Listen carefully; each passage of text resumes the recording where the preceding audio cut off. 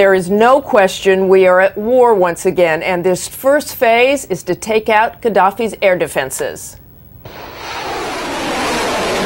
Throughout the night, the U.S. pounded Libya. The strikes began with more than 110 Tomahawk missiles launched mostly from U.S. ships and submarines, aiming at more than 20 targets, including surface to air missile sites.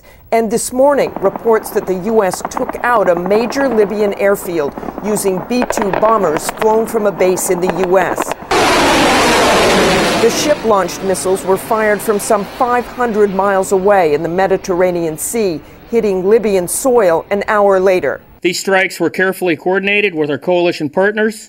Before the Tomahawks were launched, 20 French fighter jets flew over rebel held Benghazi in a show of force, taking out one Libyan armored personnel carrier. But Muammar Gaddafi remains defiant, calling into state TV to say if the U.S. wants a long war, they will get it. He gathered supporters, including women and children, around his compound and other key targets, essentially forming a human shield. In the coming days and hours, the strikes will expand beyond Tripoli to hit air defenses in Misrata and Sirte. There will be no strikes east of Sirte, where the rebels are in control. I want to stress, however, that this is just the first phase of what will likely be a multi phased military operation designed to enforce the United Nations resolution. The next phase will be the no fly zone, which will be over Tripoli and rebel held Benghazi, an operation that will involve hundreds of aircraft. US F 16s will likely take part, but most of the fighter jets will be from Britain, France, and other allied partners. The US will provide support aircraft like air refuelers and communications aircraft.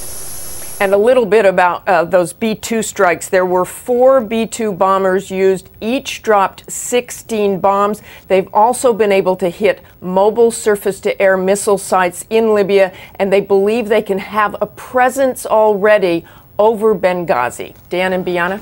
Martha, to put a fine point on this, we are essentially taking sides in a civil war here, backing the rebels. What do we do if the rebels start behaving irresponsibly?